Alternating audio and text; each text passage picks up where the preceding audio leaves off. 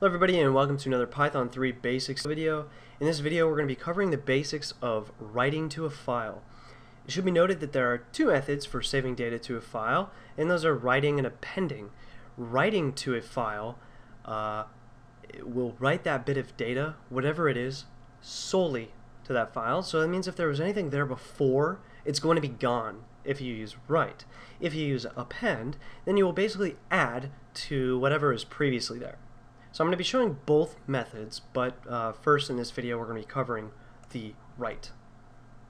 So first we need something that we're actually going to write, and so for that we're going to say text, and text is going to equal to sample uh, text to save, and then we're going to have uh, backslash n for a new line, and then after that we're going to have a new line.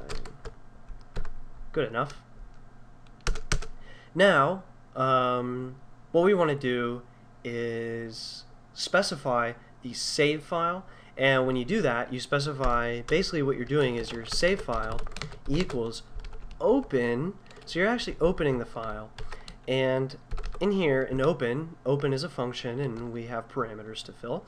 And the first parameter is what are we opening? So we're actually opening example file.txt if it doesn't exist already, uh, it will be created.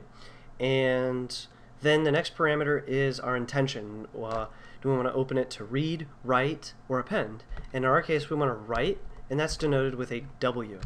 And that's all that we need. So what we're doing here is we're basically notifying Python of our intentions. We're going to open this file, and our intention is to write to it.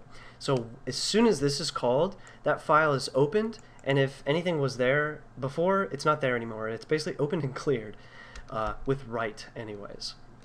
Now what we want to do is actually write to the file. So that's going to be save file uh, dot write. And what do we want to write to this file? Well, we want to write text. After that, the next thing that we want to do is save file dot close. It's really important to remember to close it, otherwise uh, it will hang open for a while and it could cause problems with your script, but otherwise it's just going to be a big nuisance because you won't be able to really uh, further save any data, basically. So either you or your, your script is going to start having some trouble.